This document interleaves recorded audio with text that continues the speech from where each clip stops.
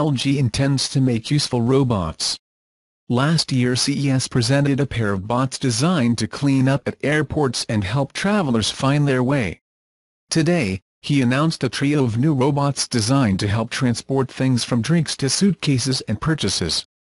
The technical details about the three bots are scarce including how big they are and how fast they move, but judging by their images, they are shorter than humans, with some kind of wheelbase hidden for movement. It has built-in screens, presumably to provide information and receive instructions, and has the same bright-eyed robot face that the company used for its home concentrator robot. The robots will be part of the new CLOi range of LG, the new brand for all its robot products. From left to right in the image at the top of the page, there is the CLOi Service Robot, which has a built-in sliding tray and will distribute food and drinks in hotels and airports. The CLOi Gatekeeper Robot, which will transport luggage and can also handle express check-in and check-out services.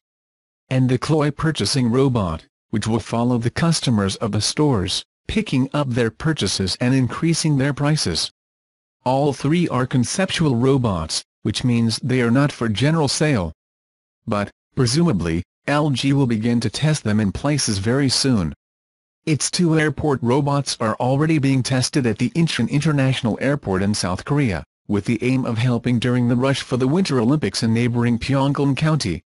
We will see more of the new CLOi robots at CES next week, so be careful with more.